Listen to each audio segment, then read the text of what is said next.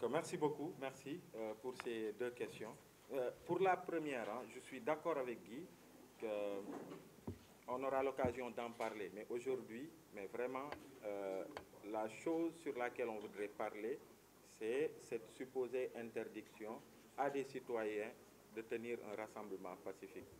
Maintenant, par rapport au procureur, j'ai lu Maître Sarr, l'excellent Maître Sarr, euh, pose, qui, se disait en fait de toute sa carrière euh, de, de, juriste et d'avocat, c'était la première fois qu'il voyait un procureur lancer un appel à témoins, en fait, sur des questions comme ça. Et ça m'a fait un peu rire. Je ne suis pas de juriste, mais quand même, ça en dit long. Après ça, on aura l'occasion de revenir sur ça. D'interdiction. Voilà. Pour les motifs d'interdiction, il y a menace réelle de trouble à l'ordre public, incitation à la violence à travers des propos irrévérencieux à l'endroit des institutions publiques, risque d'infiltration par des individus mal intentionnés. Voilà, c'est ça. Euh, pour votre dernière question, ce que je dirais, c'est que euh, rien n'empêche à des citoyens de se rassembler pacifiquement et d'exiger à ce que la justice fasse son travail comme il se doit. L'institution judiciaire est composée d'hommes et de femmes euh, qui sont payés par les citoyens pour faire le travail et ils agissent au nom des citoyens.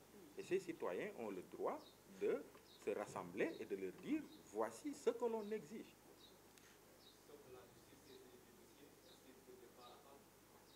Mais je dis oui, la justice est saisie du dossier.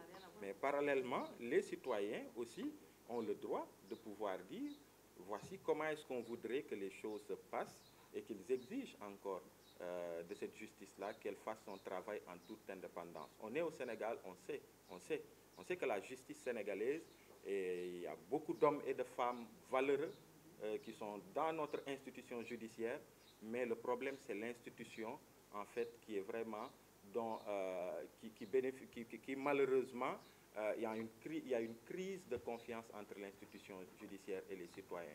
Pas à cause de ceux qui sont dans l'institution, mais parce que le pouvoir exécutif a une main mise sur cette institution-là. Nous tous dans cette salle, on le sait. Mais cela n'est pas l'objet de notre conférence de presse d'aujourd'hui. Euh, on va rester centré sur les objectifs de cette conférence de presse.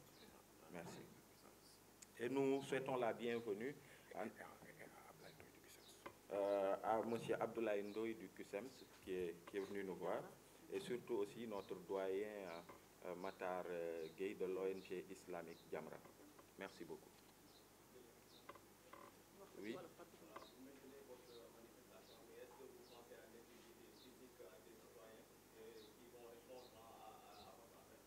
Je vous dis, nous avons appelé à une manifestation pacifique, donc il ne devrait normalement pas y avoir de problème. Mais ce que je vous ai dit, l'enjeu d'aujourd'hui est plus fort que toute crainte.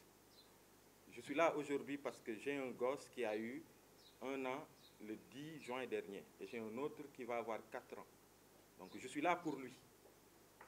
Et de façon pacifique, je tiens à être à cette place-là pour qu'en son nom, pour, pour, pour, pour, pour préserver ses intérêts futurs, pouvoir m'exprimer et dire comment est-ce qu'avec les autres citoyens, nous voulons que nos ressources naturelles soient gérées et surtout le pétrole et le gaz.